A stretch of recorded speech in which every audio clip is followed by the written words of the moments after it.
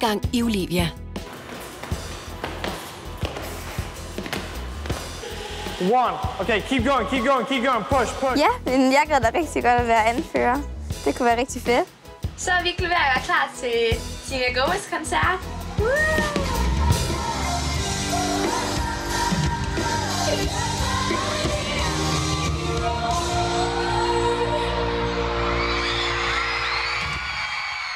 A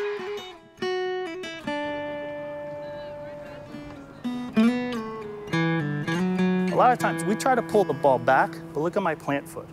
I mean, He's it's a loyal tear, coach. His name's Barry. He's been uh, actually in contact with the academy for Han er en af Bobbys venner. year, pretty much. Han er nogle gange med til at træne pigerne her, Actually, one of og er også spotter for et hold i Chicago. from the U18s to play in Loyola School in Chicago.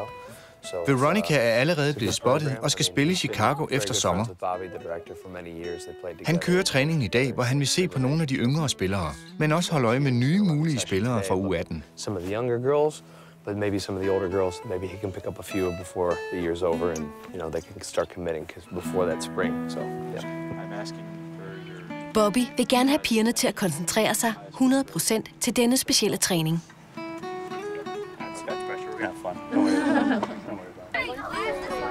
Two more. Okay. Five. We just need two more. Yep. So purple. Here we go. Yeah. Yeah. Okay. Just get the ball moving. Get the pattern down. Side of your right. Up, and then we can pull it back. Get off the coach. Gæstetrænerens rolige og afslappede stil bliver hurtigt populær hos pigerne. Okay, let's go. Jump. Here comes Val. Here comes the angle of the. Uh, yeah. Den nye træner? Ja, han er rigtig sød. Han lærer os en masse nye ting. Okay, what are these girls doing here? Good. Side on. Receive it. Side on. Good. Now, what we want to look at for here is let's get our first touch back towards the passer. It's going to set the defender up. Who's up? Right. So defender's on. Let's get our first Olivia forstår slet ikke, hvordan hun skal udføre den dribling, som gæstetræneren forklarer hende. Perfect. Good, and then get it off your foot. Very good. First touch right back. Okay. See, so maybe that one, it's not a great pass. Maybe we were just letting that one come, and now we just open up. So now we have the different things to look for, right? Yeah, right. To go and get it right back. All right, yeah. See, that's a decision making you're gonna have to make in a game every single time. So uh, we're, Olivia's trying to do Olivia's trying to do the revolution, and the ball kept going over here, and she's trying to do the move, and it, you know that's not soccer, right? Soccer, you have to make decisions like that. The first one would have been the, the correct decision. We just try to give the girls kind of a, a, a quick glimpse into how we run our program. Uh, Det jeg prøver er at give pigerne et indblik i, hvad det er, vi laver i Chicago. Alt i alt drejer det sig om fodbold. Træning er træning, men vi fokuserer måske også på nogle andre ting end Bobby og de andre trænere. You know, and training sessions are training sessions, but maybe we have a little different emphasis that uh, maybe Bobby would have with his team or some of the other coaches would have. Uh, so it just kind of gives them a little insight of, uh, you know, our likes and dislikes of, of uh, training sessions. Der er individuel træning til målmanden.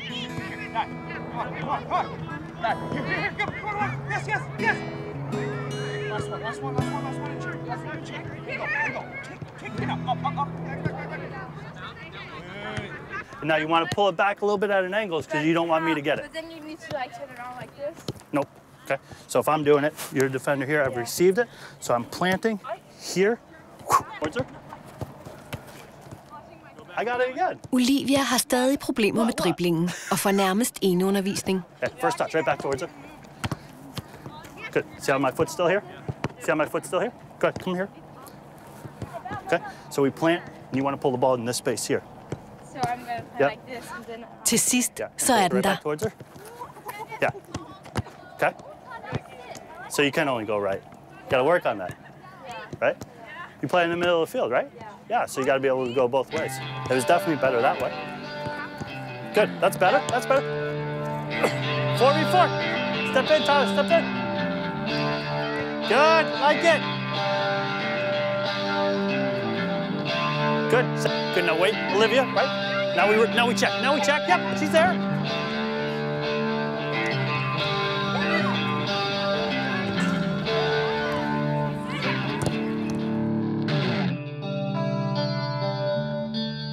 Ja, nu skal jeg så have alle mine resultater fra min test. Det var en Gatorade-test, jeg havde, hvor de skulle finde ud af, hvor stærk jeg var, og hvor god form jeg var, og hvordan min krop den var bygget. Yeah, compare it to this one and see how you've changed. Okay. Jamen, altså, vi snakkede bare om, hvordan min test den var gået derinde. På Gatorade-testingen. Og han sagde bare, hvordan jeg lå sådan. Ja, altså, jeg lå rigtig godt i den der løbetest. Faktisk så professionelle piger, som der spiller fodbold, professionelle, de, øh, jeg, jeg er faktisk i så god form som dem, så det er, rigtig, det er jeg rigtig glad for. Og jeg er kun 14 år, og de to så sådan, det, der var normalt, når man var 20-28 år, når man spiller professionel fodbold, som en pige. Ja, jeg skal prøve at veje mig inden og efter, så jeg kan se, hvor meget min krop den, altså, den sveder ud. Hvor meget vand den sveder ud. Så jeg kan finde ud af, hvor meget jeg skal drikke før en kamp. Eller træning selvfølgelig også.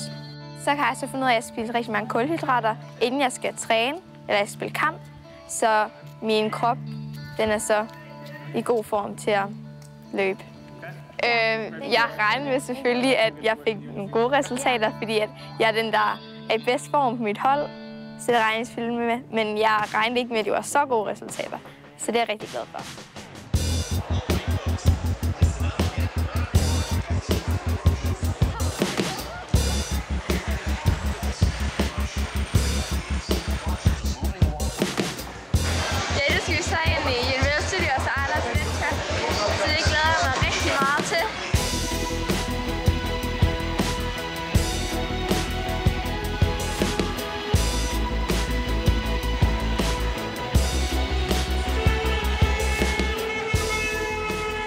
Altså, det var super fedt at sige med der, for det var hendes første gang der.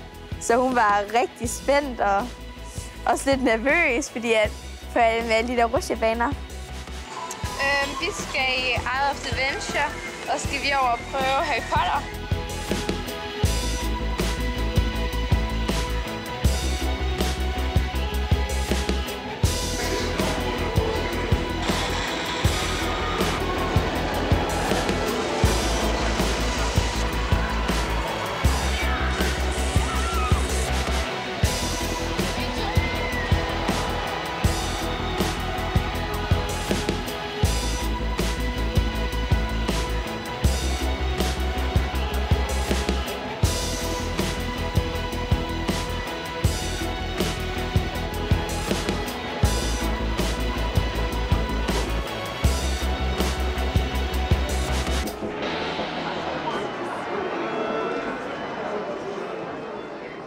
Men nu skal vi så på stranden, vores turhold, og der skal vi så træne lidt fodbold og ud og løbe lidt. Ja, det er rigtig godt for vores muskler at træne i sandet. Så det glæder jeg mig rigtig meget til.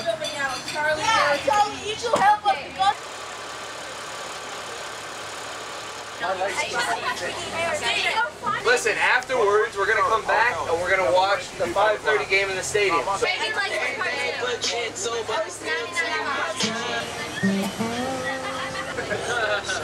So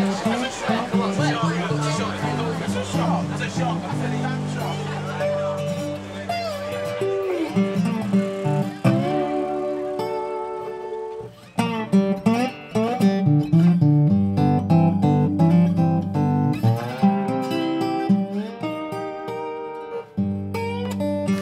the girls right now, they're just doing a warm-up run. Uh, usually in I starten og slutningen af sæsonen fokuserer vi mere på fysisk træning. Mange piger tager nu på ferie, så vi prøver at få dem i så god form som muligt, inden de rejser hjem. Denne træningsform er sjov og effektiv.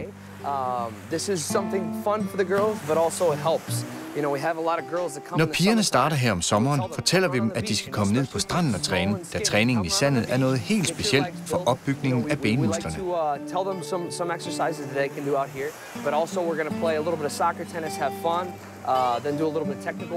Hvis man ikke bor tæt ved stranden, kan man også bruge disse øvelser i haven eller andre steder, Especially if they live near a beach. If they don't live near a beach, that's fine. They can do it on their own somewhere else. So that's what we're doing today.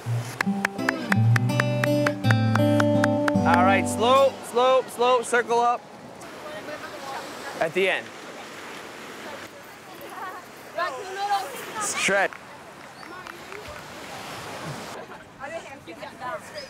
They're barefoot. You have a feel for the ball. I can feel the ball right now. All of the ball. You know what I mean? You have all of the ball on your foot. So get good touches in, okay? Keep it up in the air between three of you. Oh, between three of you. Let's go. Partners of three. Keep it up in the air. Keep it up in the air. Come on. Tuck, tuck, tuck. There we go. There we go. Come on, Charles.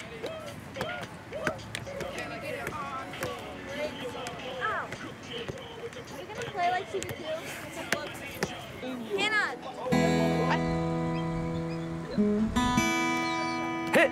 Ay, ay, ay. Gotta win by two. Have to win by two.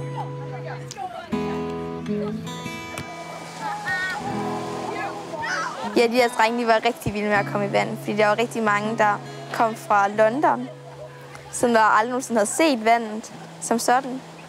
Så de løb ned i vandet og skreg som 12-årige. Så det var rigtig sjovt.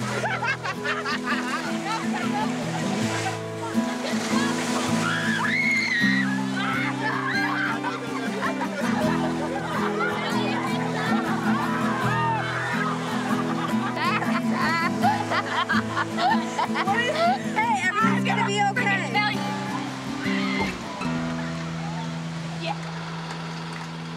Det før jul, og snart skal Olivia hjem til Danmark for at holde juleferie. Men inden da når hun lige et sidste evalueringsmøde med skolevejlederen, som er godt tilfreds med Olivias fremskridt i skolen. Excited to see you. Have a wonderful holiday season, and we'll look forward to you getting back. Olivia! Srovia, Srovia, Srovia! Hey, Anna. Om eftermiddagen spiller pigerne deres yndlingsopvarmning, håndfodbold. Mens solen går ned, tages det legendariske julebillede i 25 grader. It's been amazing. It's been honestly the best experience of my life. Det har den bedste oplevelse i mit liv. Jeg har fået så mange nye venner, som Olivia og Sierra.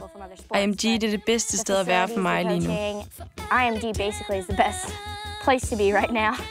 Som juleafslutning skal USA's U17-landshold spille mod et hold fra Tottenham i England. En meget speciel kamp for Olivia og hendes veninder, da mange af pigerne rejser hjem til juleferie lige efter kampen. Jeg tror ikke, at dem hjemme i Danmark, de kan forestille, hvad for et forhold jeg har til de her piger herovre. Fordi det er nogen, jeg ser hver dag, jeg bor sammen med dem. Det er jo ligesom min familie. For jeg bor jo ikke altså, med min familie mere. Altså ligesom min mor og far, de er her jo ikke. Så det er jo dem, der sådan er taget lidt over, hvis man ikke siger det på den måde. Så mit forhold det er rigtig tæt til alle pigerne. Og det bliver rigtig hårdt ikke at skulle se dem i tre uger. Jeg er vant til at se hende hver dag, når jeg står op, så er hun der. Og når jeg kommer hjem fra skole, så er hun der. Og når jeg kommer hjem fra fodbold, hun er der hele tiden rundt om mig. Så det, det er rigtig hårdt og svært at sige farvel til hende. Fordi nu er det så tre uger, hvor jeg ikke skal se hende. Jeg kommer til at savne hende rigtig meget. Hun er ligesom en søster for mig nu. Hun er min bedre halvdel. Uden hende vil jeg ikke være mig selv.